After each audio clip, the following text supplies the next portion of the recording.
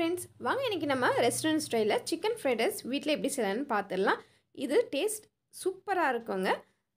So இந்த தட்டில் பார்த்தீங்கன்னா நான் வெங்காயம் கட் பண்ணி வச்சுருக்கேங்க. நீல வாக்கில் கூடவே குடமிளகாவும் நீல வாக்கில் கட் பண்ணியிருக்கேன். கேரட் கொஞ்சம் எடுத்திருக்கேன். நல்லா பொடிசாக கட் பண்ணி பீன்ஸையும் நல்லா பொடிசாக கட் பண்ணியிருக்கேன். முட்டைக்கோஸ் ஒரு அரை கிலோ அளவுக்கு எடுத்து நல்லா பொடிசாக கட் பண்ணியிருக்கேன்.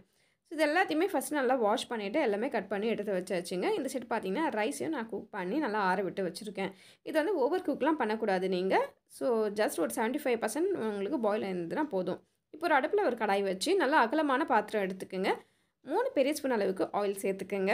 இப்போ இது கூட நான் அதிக அளவில் செய்ய போகிறதுனால ஒரு பத்து முட்டையை வந்து உடச்சி ஊற்றிக்க போகிறேன் ஸோ பத்து முட்டையை சேர்த்துட்டு இது கூடவே இதுக்கு தேவையான அளவு உப்பை சேர்த்துக்கலாம். கூடவே பெப்பர் தூளையும் நல்லா தூவி விட்டுருலாங்க ஸோ நம்ம எந்த அளவுக்கு செய்ய போகிறோமோ அதுக்கேற்ற மாதிரி முட்டையோட குவான்டிட்டி வந்து இன்க்ரீஸ் பண்ணிக்கணும். ஸோ பெப்பர் தூளையும் நல்லா சேர்த்துட்டு இது ஓரளவுக்கு வே வெந்து வரணும் நல்லாவே. ஸோ அதுக்கப்புறமா நல்லா மிக்ஸ் பண்ணி நல்லா பொடி மாஸ் மாதிரி செஞ்சிடணுங்க இதை. ஸோ இதுதான் ஹைலைட் நம்மளுக்கு. ஏன்னா அப்போ தான் வந்து அதில் முட்டை நல்லாவே தெரியும். ஸோ இந்த அளவுக்கு இருந்ததுன்னா கரெக்டான கன்சிஸ்டன்சிங்க இப்போ இதை வந்து நம்ம ஒரு தட்டுக்கு மாற்றி எடுத்து வச்சுக்கலாம். இப்போது இதே கடாயிலன்னா மூணு பெரிய ஸ்பூன்லேருந்து நான் அஞ்சு ஸ்பூன் வரைக்கும் நான் ஆயில் சேர்த்துருக்கேங்க. கட் பண்ணி வச்சு வெங்காயத்தை சேர்த்துக்கலாம். வெங்காயத்தை நீல வாக்கில் கட் பண்ணிக்கிங்க. ஓவர் குக் பண்ணணும்னு அவசியமே கிடையாது. இதுக்கு தேவையான அளவு உப்பையும் சேர்த்துட்டு நம்ம ஓரளவுக்கு வதங்க விட்டுடலாம்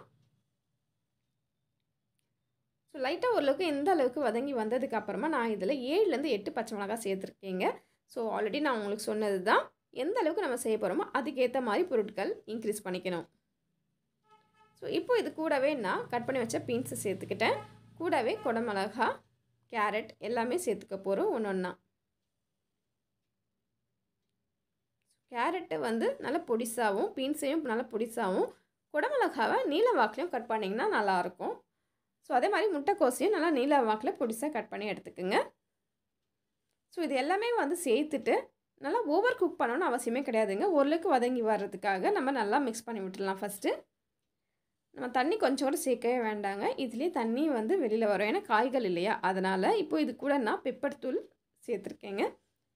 பெப்பர் தூள் உங்கள் காரத்துக்கு ஏற்ற மாதிரி நீங்கள் சேர்த்துக்குங்க. நான் ஓரளவுக்கு அதிகமாகவே சேர்த்துருக்கேன். ஸோ இந்த சைட் பார்த்தீங்கன்னா சிக்கன் நல்லா பொடிசாக கட் பண்ணி நான் மசாலா போட்டு ஆல்ரெடி ஊற வச்சுருந்தேன். அதை வந்து ஃப்ரை பண்ணிகிட்ருக்கேன் ஸோ அவ்வளோதாங்க இந்த சைடு பார்த்தீங்கன்னா நம்மளுடைய அந்த காய்களும் நல்லா வெந்துடுச்சு. இப்போது இதுக்குள்ளே நான் பாயில் பண்ணி வச்ச ரைஸை ஆட் பண்ணிடுறேன்.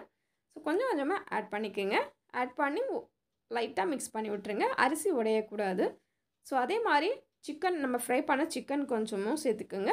அதே மாதிரி முட்டையும் கொஞ்சம் சேர்த்துக்கணும்.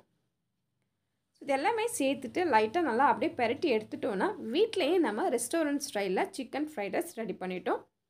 ஸோ இது சாப்பிட்றதுக்கு வேறு லெவலில் இருக்குங்க. இப்போ இதில் நம்ம முக்கியமாக ரெண்டு பொருட்கள் சேர்க்க போகிறோம் அது என்னென்னு பார்த்துக்கலாம்.